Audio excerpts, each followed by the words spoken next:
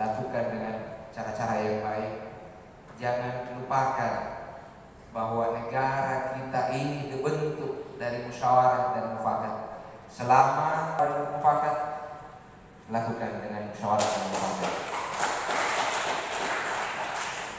Pemilihan itu kait walaupun pemilihannya ada, walaupun banyak kandidat, namun kesatuan dan persamaan kita maki semua.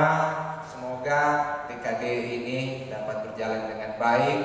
Dan saya sekali lagi pesankan jalin hubungan yang baik dengan pemerintah dengan seluruh masyarakat. Terakhir sebelum saya mengakhiri berikan saya kesempatan untuk membuka acara ini. Mohon maaf juga saya belum sampaikan. Mohon maaf